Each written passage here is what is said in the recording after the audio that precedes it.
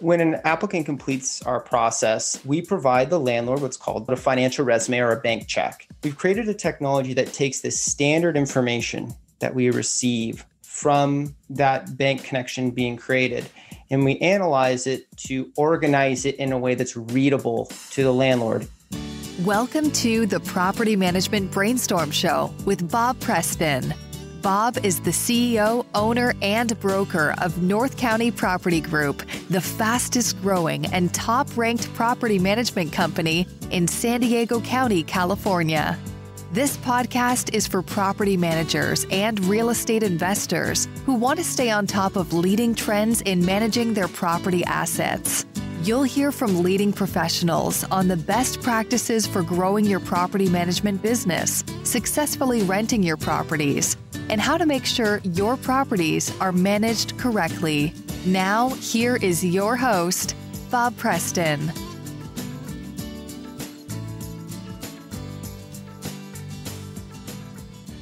Hey, y'all, and welcome to the Property Management Brainstorm Show. Thanks for coming in. This is Bob Preston, your host, broadcasting from the North County Property Group studio in Del Mar, California. If you're new here, please subscribe so you get access to all of our ongoing episodes and tips and tricks. And if you like what you hear, please pay it forward with a positive review. As a property manager or landlord, do you ever wonder that you are not truly getting the full financial picture when you're screening your tenant applicants? Sometimes we get applications that are kind of smoke and mirrors, you know, and we can typically ferret those out and filter them so that you know, we know who's trying to pull the wool over our eyes. But other times the application may look great, good and complete on the surface, but in reality, some of the aspects that would be helpful in making a decision just aren't visible, or maybe you're not getting the full picture. Wouldn't it be cool if you could verify renter's income, payroll, past rent payments, non sufficient fund,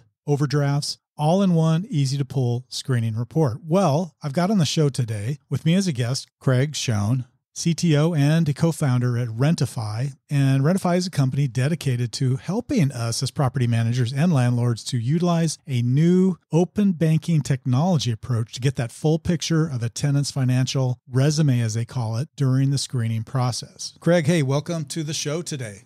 Glad to be here. Great to have you too. And I always like my guest to kick us off by just giving us an introduction of yourself a quick maybe elevator pitch for Rentify and bring us up to speed on what you're all about. Oh, thank you. My name is Craig Schoen. I'm the co-founder and CTO of Rentify. And what we do is we use open banking technology that allows landlords to uh, provide a rental application to applicants that analyzes the full cash flow of that applicant. So, understanding from a bank level detail where their payroll is coming from, if they've paid past rent, and a lot of the other financial details that just aren't readily available in a credit check or in other services. We find that landlords that adopt a bank check through Rentify uh, are able to attract great tenants and they're able to really understand a lot more about the tenants before they sign the lease, which is a win win for everybody. You started the description by using the term open bank technology. We have a company we work with that offers no security deposit options. You may know who they are. I won't mention them by name. Tell us a little bit more about open banking technology, how long that's been around, and how you guys are tapping into that for your platform. You know, open banking technology really started to become something after the 08 crash. And what happened was banks started realizing that they need a way to tap in, especially if they're not a customer of that bank. They need an easy way to tap in to person that's looking for a loan their essentially a digital version of their paper bank statement. And it started to grow and, and it became essentially the backbone of what people call the fintech industry. There's really not a ton being done for landlords to adapt this technology. And if you look at it, you realize that, you know, when the credit check was created and landlords started using it, the credit check was never built for landlords. It was built for the lending industry. So open banking, actually, if you, you know, we, we started to look at the data and understand how, you know, it would, it would work for a landlord. And we realized, hey, if you can offer a turnkey solution, no technical background, where a landlord could sign up and provide a rental application all in the same hour. And that rental application allowed them to do all the pre screening and a bank check and provide one report that validated the pre screening questions using the applicant's bank information. So when people say they make $4,000 a month, our bank check automatically verifies that, oh, it's actually only 3000 Landlords get all these documents, pay stubs, um, you know, reference letters, employment reference letters, you know, government documents, and ultimately it all ends up showing up in the applicant's bank statements. And we use that technology to provide landlords that service.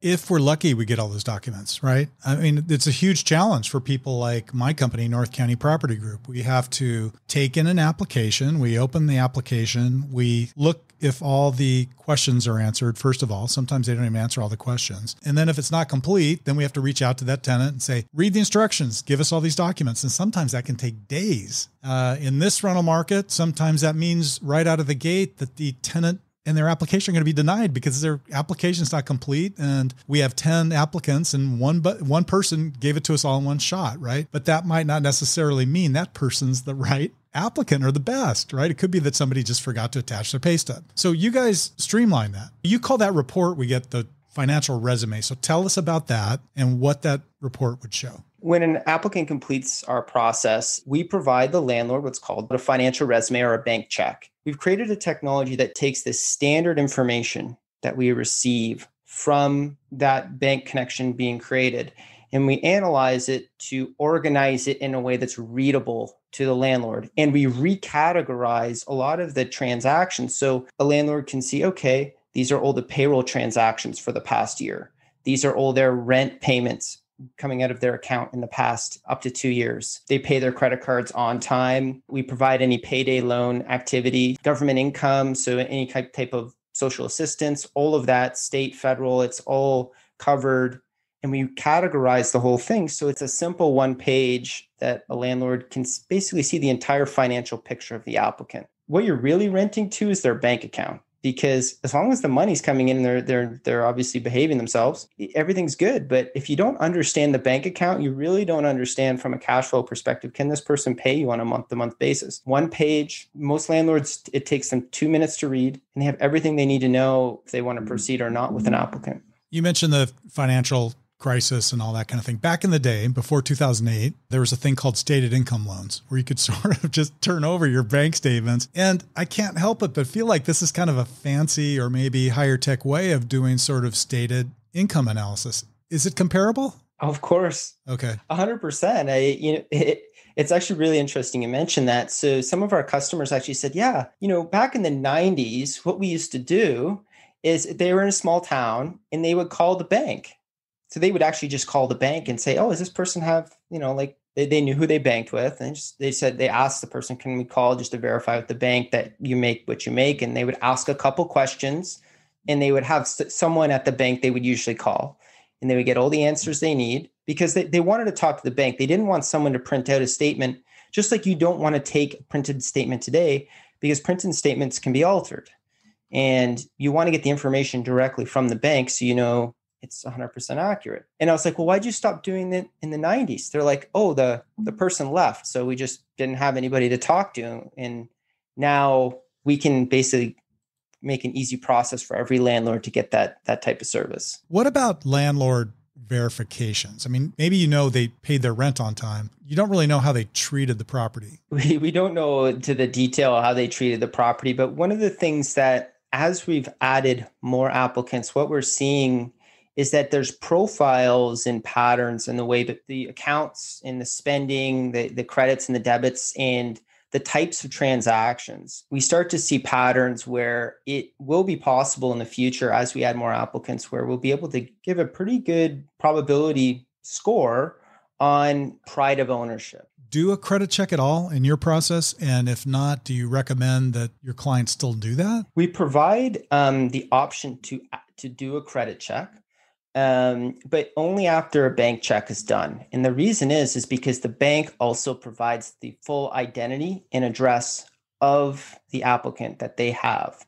So what you get is all of the KYC, know your customer, that the technology that the bank uses. So when they provide the identity through the bank check, then you can auto populate that if a credit check's also requested and you reduce your error rate on actually running those credit checks because you get as you know if you don't get the address right and other variables sometimes you get back errors that, that people can't complete landlords like that we have credit checks because it's what they know but once they do a couple bank checks they realize they can still do it if they feel comfortable but for the most part they just stick with the bank check it's less expensive than a credit check and they get the information that they're actually looking for. I completely agree and I'm and I'm with you on that. It's interesting though because as a property manager, we're in the position where we also have to answer to a property owner. Of course. And the very first question they usually ask when we're recommending that we move forward with a tenant is okay, what's their credit score? Of course. Right?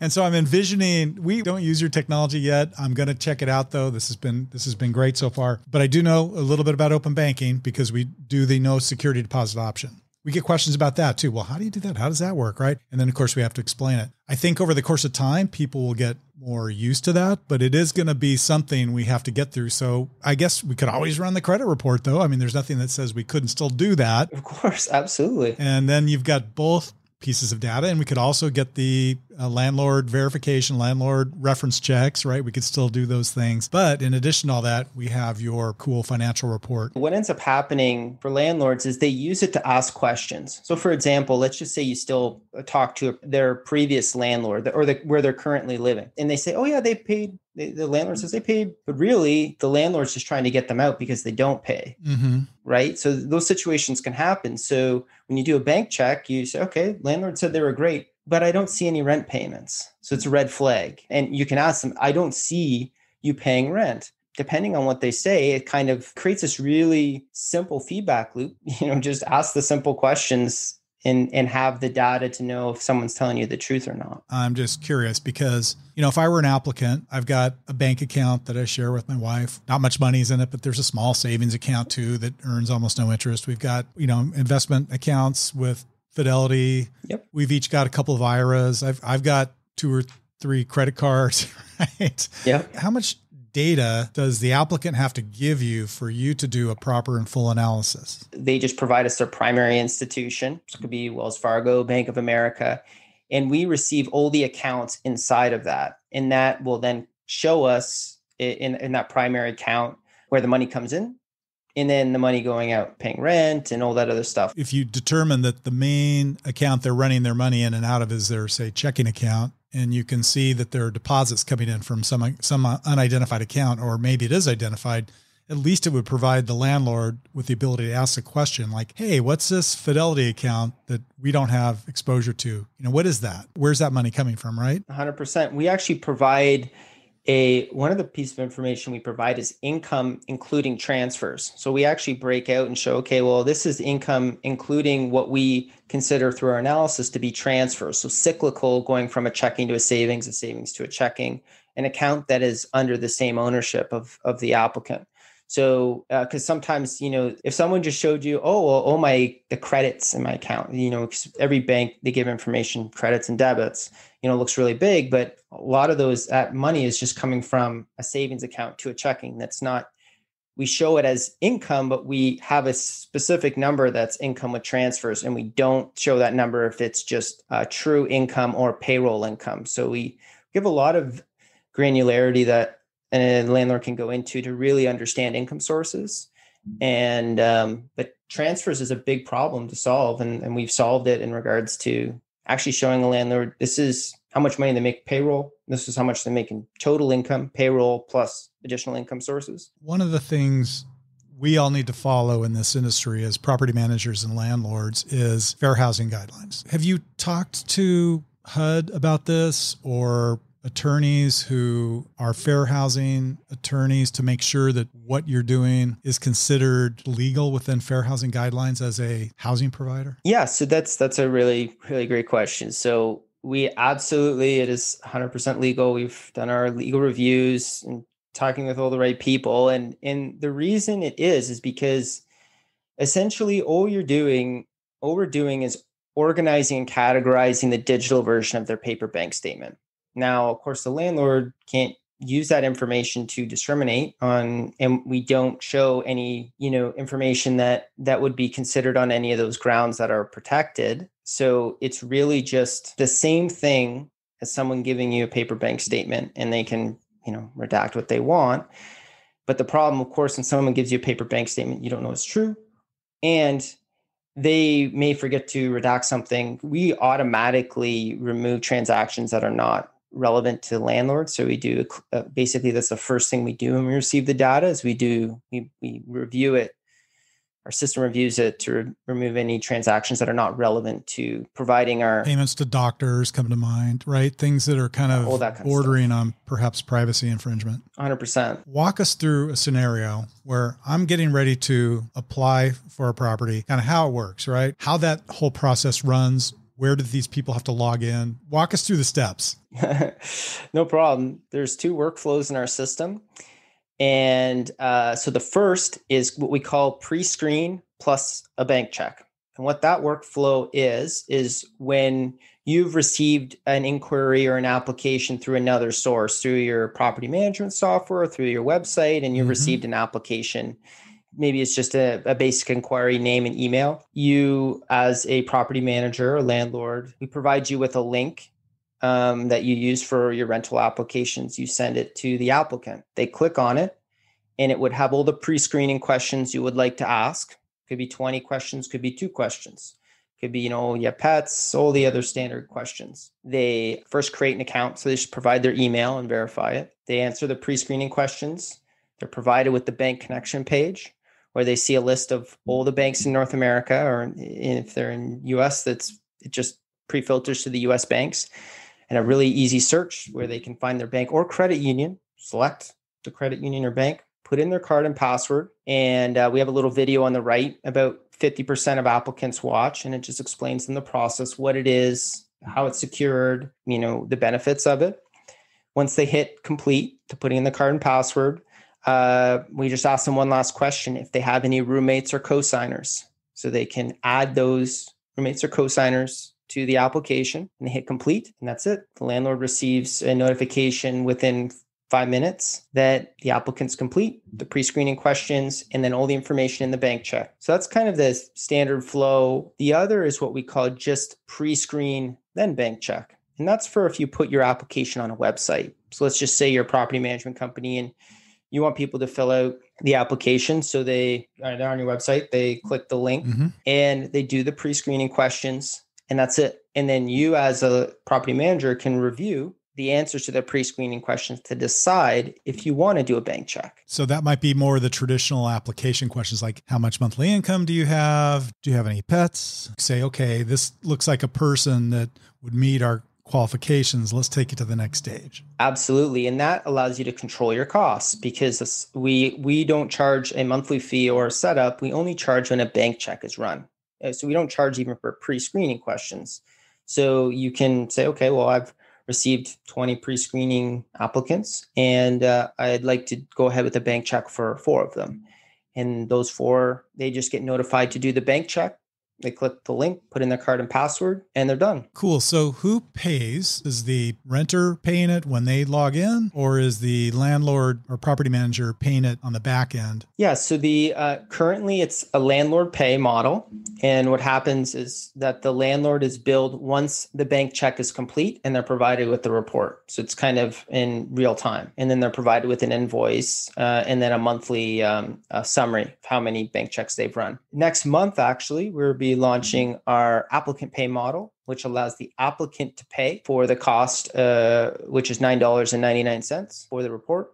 And the, the report gets shared with the landlord, but also because the applicant pays, they retain access as well to the report, which they can share with other landlords as their financial resume. Okay, cool. Where are you guys located as a company and how long have you been at this? We're in Canada. So, uh, the, the, Great White North, as they would say. And uh, so, we're just outside of Toronto. Our head offices are in a place called Belleville. Uh, so it's uh, right on the water, very nice. This isn't our the first company. This is that I've that I've started. This is actually the second uh, company that I've started. The first was in the automotive space that that has done quite well. And um, you know, as a diversification uh, outside the automotive space, myself and our partners and investors were looking for different opportunities. And as you know, people who invest usually own real estate as well. So it as part of the conversations was is there a technology we can create that can simplify the real estate industry? And and we started to investigate. And when we saw that as part of our research we said well wait a second. Why isn't one of the first steps for an applicant applying to a rental property and you know, which is the largest monthly expense, or they should be, uh, you know, hopefully, uh, largest monthly expense is renting.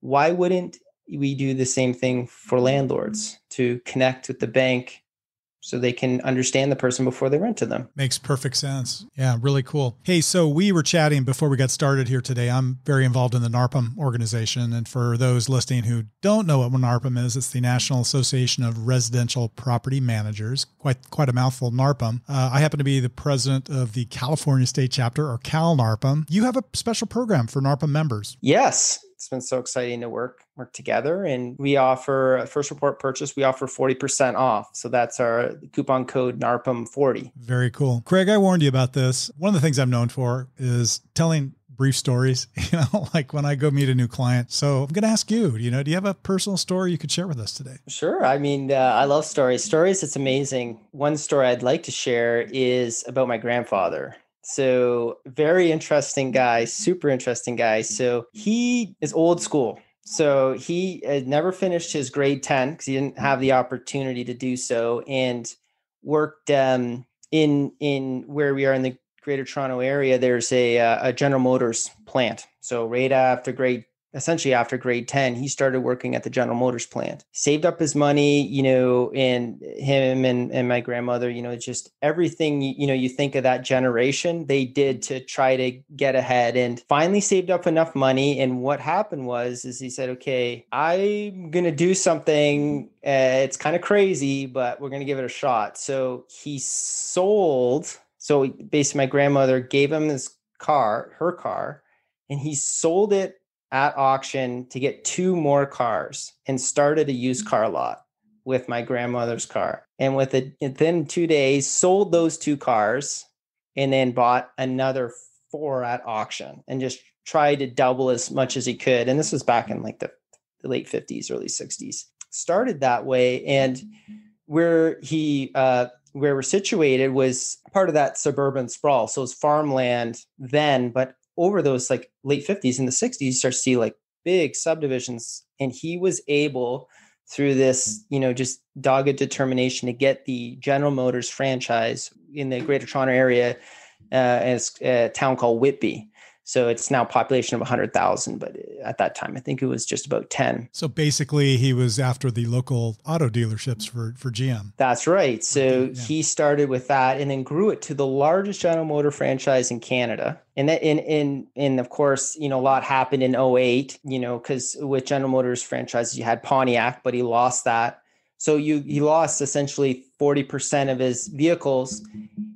Even with that, he was able to grow and still maintain as one of the largest car dealers by volume in Canada after losing his main, essentially his main product, Pontiac, and doing it just through talking to you know like when so he he he has a way with people when they come onto the car lot. You know, he just has this way where you just can't not talk to him. Like he's just it's it's it's it's an amazing thing to see, and um, so a lot of the entrepreneurship you know that that I've learned is you know from him and and and his approach to life. And he is now 86 and he started his latest dealership eh, a Hyundai dealership franchise just north of Whitby. So he's actually the oldest I, I believe he is the oldest person to ever in North America start a car dealership at 86 does he still go to the lot? Every day every day. That is a really cool story. The greatest generation, as they say, right? Hey, this has been a great conversation. I love that story. And the episode is also full of some fantastic information. Thanks so much for coming on the show. I'd love to continue, but just in the interest of time, we got to wrap up today. So, any last words or thoughts for our audience? And if someone wanted to get in touch with Rentify, how would they do that? Yeah. So, you can go to trustrentify.com.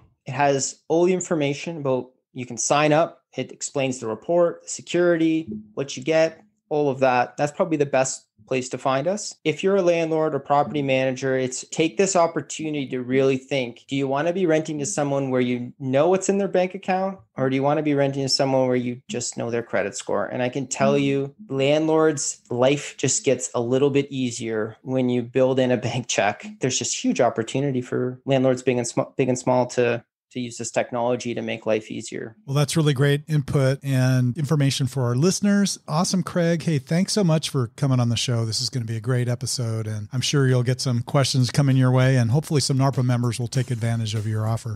Well, as we wrap up today, I'd like to make another quick plug to our listeners to click on the subscribe button and also give us a like. You too, Craig. I expect a like and a subscribe. Also, pay it forward with a positive review to help encourage more great guests like Craig to come on our show. And that concludes today's episode. Thank you for joining the show. Until next time, we will be in the field working hard for our clients to maximize their rental income and maintain top tenant relations. And we'll catch you next time.